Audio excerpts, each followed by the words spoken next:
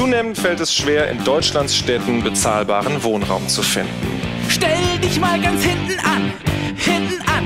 Alle in der Schlange wollen meine Wohnung. Oh, du bist alleinerziehend, verdienst nicht viel.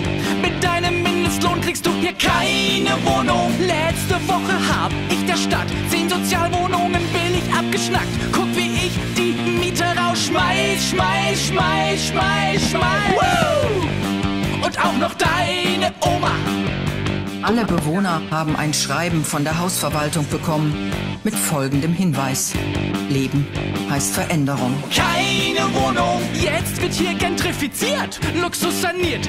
Bist du nicht superreich, dann gibt's keine Wohnung. Und wenn ich was Neues baue, wisst ihr genau, das wird leider wieder nur eine Reichenwohnung. Na gut, ich habe noch ein Kellerloch, voller Schnäppchen, freu dich doch. Gerade mal 2000